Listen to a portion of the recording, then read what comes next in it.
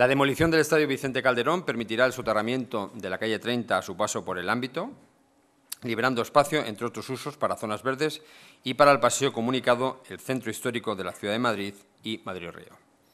Por lo tanto, seguimos eh, en este sentido eh, acabando de rematar uno de los proyectos más importantes de regeneración urbana que ha habido en los últimos eh, años en Europa. En segundo lugar, se propone una ordenación de ámbitos en cuatro manzanas en las que coexistirán los usos residenciales y terciarios, así como las nuevas dotaciones educativas.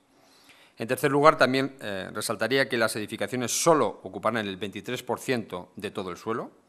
Esta fórmula, indudablemente, eleva aún más la apuesta por la sostenibilidad que se propone en este plan parcial.